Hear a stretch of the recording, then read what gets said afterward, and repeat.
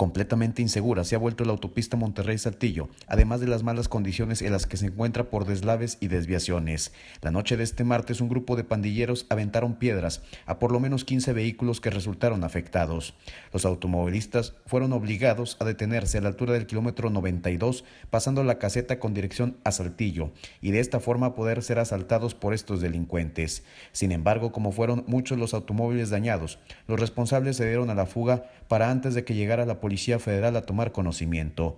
Un representante de la aseguradora de nombre RSA de la autopista se hizo presente en el lugar donde la gente estaba muy molesta, pues no les podrían cubrir los daños. Dentro de una autopista que estamos pagando eso, ¿no sucede eso? Sí, sí, sí, sí, claro.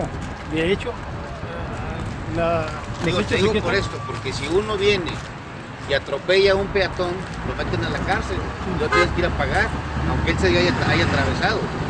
Yo considero que alguien tiene que ser responsable por, porque estamos pagando un seguro a la autopista, independientemente que tú seas el encargado del seguro de aquí.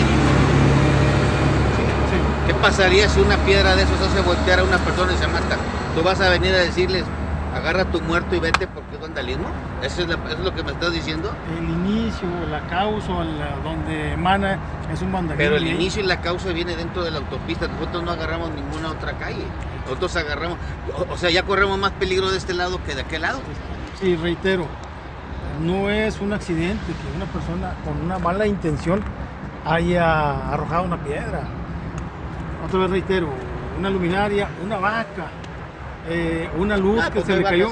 Las personas afectadas, entre los que se encontraban habitantes de Saltillo, Monclova y Piedras Negras, simplemente se retiraron del lugar, no sin antes obligar al asegurador a levantar un reporte sobre el incidente, sin que les confirmaran si les cubrirán los daños. Para RCG informó Alejandro Martínez.